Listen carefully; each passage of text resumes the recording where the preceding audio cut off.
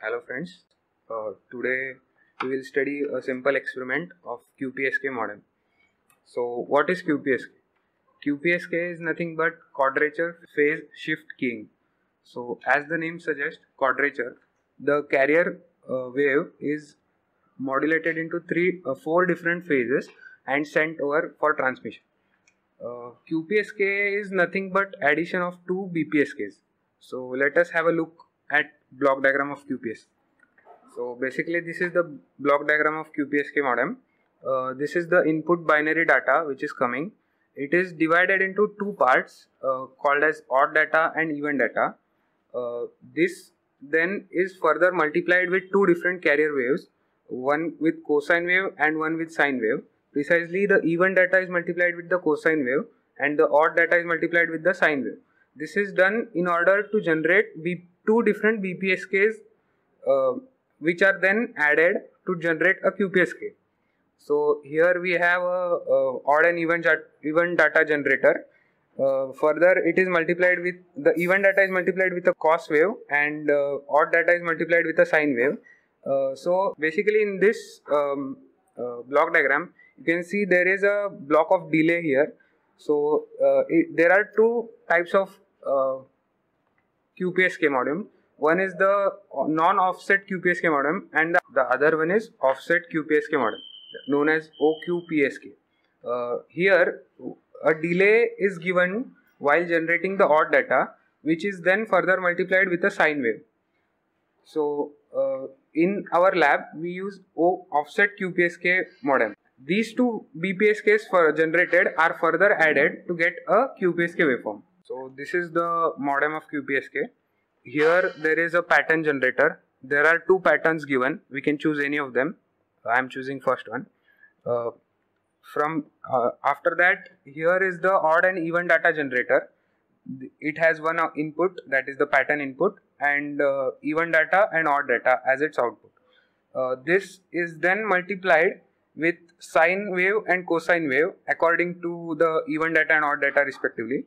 Uh, these two waves are then added with a adder here and we get the final QPSK output at this point. So let me make the connection. This is the pattern. I am choosing the first one. Uh, the, and similarly there is a clock also given here. So that is that I would also see on my CRO.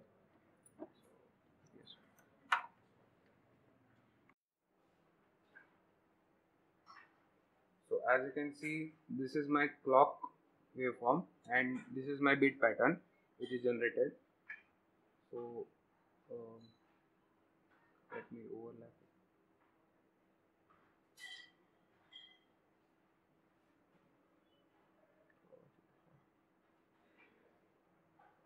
so as you can see here my bit pattern is 1 0 1 0 1 1 0 0 and then onwards the waveform repeats itself. So, so as we saw the waveforms on uh, DSO, I have drawn them on a graph paper. This is our clock input signal, clock input signal. This is our input data pattern, which is 10 and in all it is 8 bit pattern. So this is the 0th bit, this is the first bit, second and so on. And after 8 bits, it repeats itself. So moving on, uh, this is our odd and even data generator over here. So the input bit pattern is given to this input and here we get even and odd data respectively. So let us view odd and even data.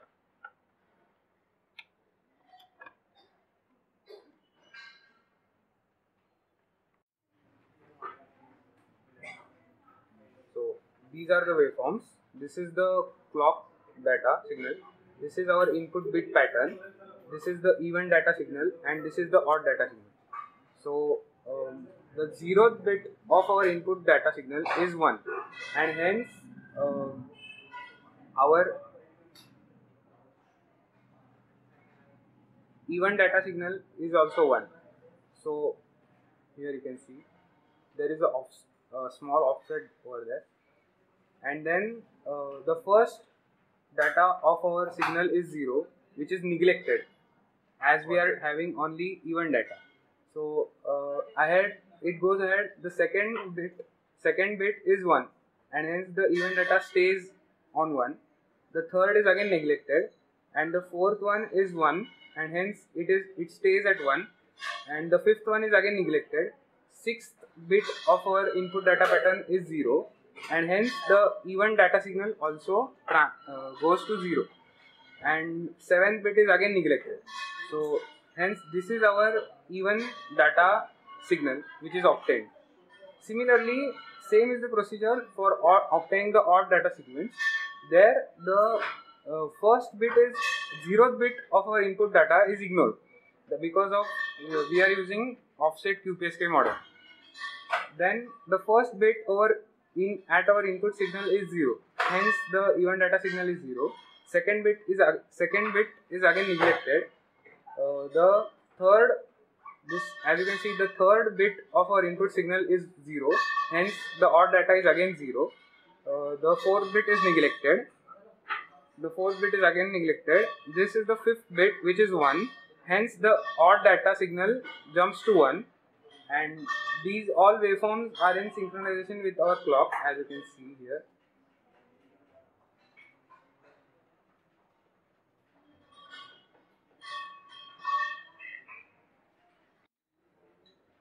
so here this is the event data i'll draw it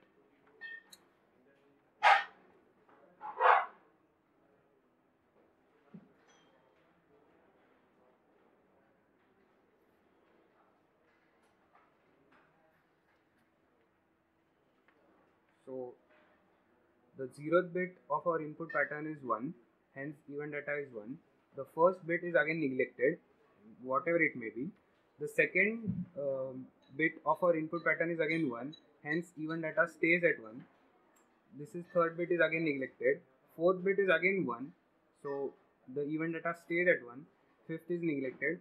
Sixth bit of our input pattern is 0, hence the even data shifts to 0. Similarly, in odd data, uh, offset of first bit is given. The first bit is not um, sampled. Zeroth bit, sorry, of our input pattern. The first bit of our input pattern is 0. Hence, the odd data starts from 0.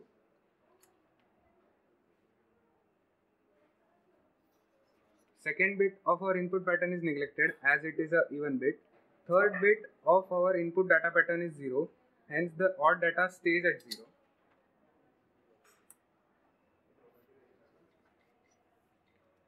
Now fifth bit of our input data pattern is nothing but 1 hence the odd data shifts to 1.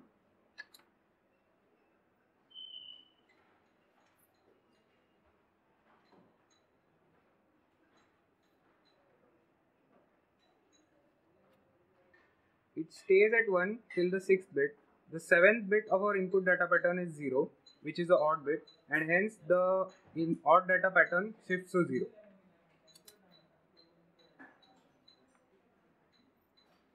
Similarly, after 8 bits, this pattern is again repeated. Okay, so moving on. Now this odd data and even data generated is multiplied with a sine and cosine wave respectively. So here I am making the connections. Here there is a inbuilt cos and sine wave generator. So there is no external need of those two waves. So now we will observe the multiplied output which is nothing but the BPSK. So here odd data is multiplied with the sine wave. This is the first output. And even data is multiplied with the cos wave. So this is the second output. So this is our uh, odd data generated here and this is our even data generated here. I have zoomed it a bit to have a better clarity and these two waveforms are nothing but our BPSK generated. Uh, they are obtained by multiplying the sine wave with odd data and cosine wave with even data. So here you can observe the phase shift which is uh, 180 degrees. So this is our BPSK1. Here you can observe the phase shift as the transition from 0 to 1 is happening in event data. And over here you can observe the phase shift uh, as the transition is happening between 1 and 0 in our odd data. So to have a bit clarity, I'll just zoom it in. So this is the phase shift here and this is the phase shift here. So now these two BPSKs generated are added in order to get a QPSK waveform. So moving ahead, we have now connected these two BPSKs generated to an adder and whose output is nothing but a QPSK waveform. So we can see so this is the first BPSK waveform generated. This is the second BPSK waveform, and combining these two, this is the this is our final QPSK output. So here, as you can see, there is a phase shift in our first BPSK, which is also depicted in our QPSK waveform. This is the uh, phase shift of phase shift in second BPSK waveform, which is also depicted in our QPSK. So here we can say that this QPSK waveform is nothing but the addition of these two BPSKs along with the phase shift. And this QPSK waveform is used for further transmission. Now drawing a QPSK waveform on a graph paper is very tricky thing. Um, actually based on our input data, input data, we get two waveforms, even data and odd data. And based on those two waveforms, the phase at which the waveform of QPSK is to be drawn is determined. Um, so as you can see at the table, this is even data and this is odd data. When even data is 1 and odd data is 1, the waveform at the uh, phase at which the waveform will start is pi by 4 and similarly when it is 0 1 it will be it will start at 3 pi by 4 when it is 0 0 it will start at 5 pi by 4 and when it is 1 0 it will start at 7 pi by 4 so now here um, this is a simple wave uh, wave where the this is 0 degree. This is pi by 4 from where the wave will start. This is pi by 2 this is 3 pi by 4 this is 5 pi by 4 this is 3 pi by 2 and this is 7 pi by 4 and here again the waveform repeats itself. So based on this data, we have to draw our QPSK wave. So here I have drawn the QPSK waveform. This is our even data and odd data. So here as you can see, our even data is 1 and odd data is 0. So when it is 1 0, the phase at which the uh, waveform will start is 7 pi by 4. So here you can see I have drawn QPSK waveform at 7 pi by 4. Similarly, our even data and odd data, they are same up to this, this point. So the there will be no change in phase and the waveform will start from 7 pi by 4 and this I have drawn accordingly. And here now the change happens when even data is 1 and odd data is also 1. So for 1 1 you can see the phase at which the angle will uh, the uh, waveform will start is pi by 4 hence the there is a phase shift from 7 pi by 4 to pi by 4 here you can as you can see. And from this we continue to draw waveform. But again there is a phase there is change in our bits. Uh, even data is 0 and odd data is 1 when this is the case you can see uh, the phase here is 3 pi by 4 and hence the wave again changes its phase and starts from 3 pi by 4. So this as you can see there is a phase shift.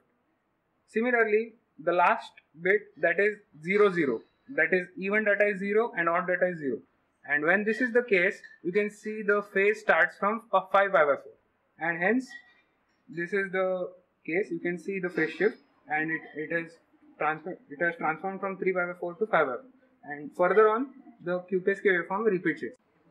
So moving on to the next part, uh, here the we must observe the waveforms that is QPSK waveform with respect to its frequency domain.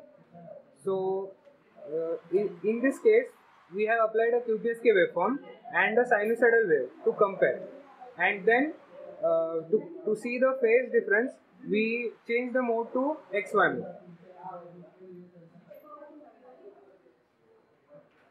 Okay, so as you can observe, this is this is basically a combination of two ellipses oriented like this and like this. And each angle corresponds a phase 45 degree 135 degree 225 degree and 325 degree respectively. So moving on now we will observe the FFT of a QPSK signal so from here I have selected math mode and FFT. The window will be Hanning. So and then we observe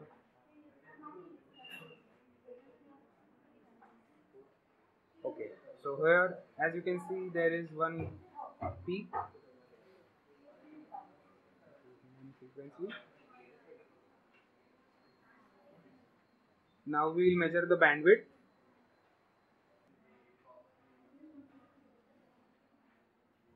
bandwidth should be observed at these points. Okay so now I have adjusted these two cursors at the respective frequencies. This is the main lobe of frequency spectrum. And here as you can see the difference is displayed here which is nothing but the bandwidth which is 2 kilohertz which is very much in accordance with our signal frequency which was 2 kilohertz. So this is the main advantage of QPSK over BPSK that the bandwidth is reduced to half of its original. Thank you.